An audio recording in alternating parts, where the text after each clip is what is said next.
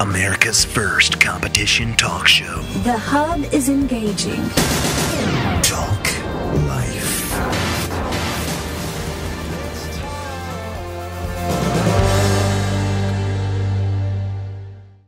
Last couple of years, uh, the Hub Internet Show has been providing compelling content, unparalleled on the internet universe of YouTube and that type of thing. And uh, folks like Greg Williams have started uh, throw-off programs on top of it, and and I just felt like I wanted to do more mm, serious moment. Huh? A fireside chat. Okay, we'll go with that.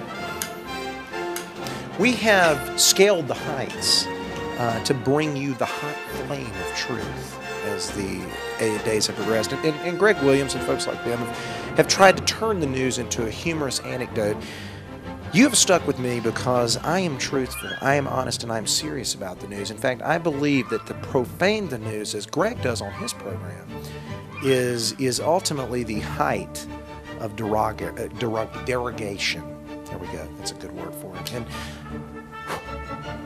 so I'm going to put that out right now and just say, I need you to focus on the truth. Focus on the hard news because news deserves your hard focus.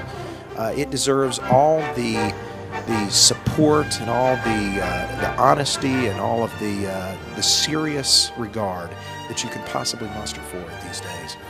And so I want to give you that charge moving forward. I also want to tell you that the the Hub Internet Show will soon be no more in its present form, at least dramatic camera angle shift to punctuate the point.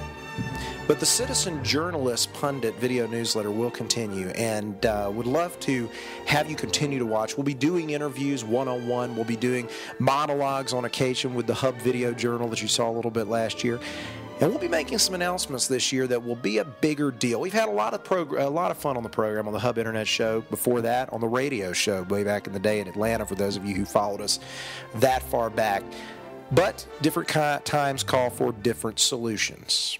And uh, on a serious note, a lot of what we've tried to do with the program is really model visually what it looks like to not have an autocratic, top down, host centric program, but have a program that really builds around a community, a community of folks hashing out the issues, having fun with it, and that type of thing. Because, in a very serious sense, there's less and less of that going on in the country today.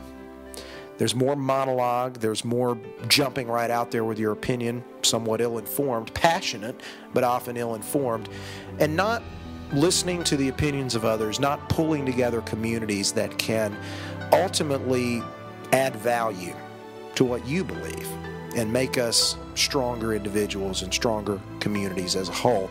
So, a lot of what we've tried to do with the Hub is not necessarily broadcast, but social cast, if not if you'll if you'll have it that way. And uh, uh, these have been the goals that we've had all along. We've got some goals this year that are going to take us in a brand new direction.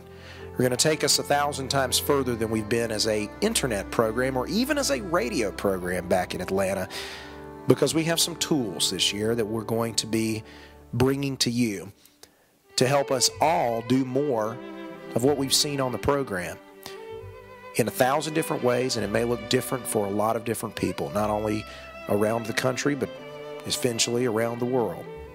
But we'd love for you to be involved in it, and we'd love for you to not only keep listening and keep reading the Citizen Journalist Pundit, but send in some videos to be added to the newsletter. You can send them straight to me at joel at thehubshow.tv and keep watching because a lot of exciting things are going to happen this year that really bring the community home. Thanks for watching The Hub. I'm your host, Joel Aaron. See you online, and we'll see you out there.